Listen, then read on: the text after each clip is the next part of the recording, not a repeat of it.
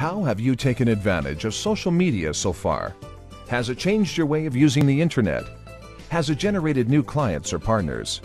Have you attracted new investors? Social media is still in its early phase.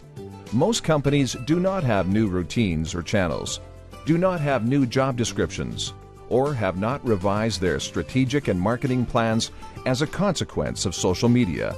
Many still struggle with understanding business models, applications, opportunities, and what makes companies successful by using social media.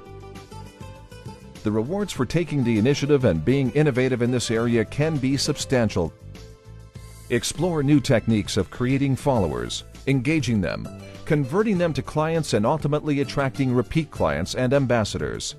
This requires adopting new and creative techniques in creating content, reinventing and revamping your online profile and pages, reaching out to multiple channels, using movies and visuals to highlight your strengths, and increasing your ambition levels.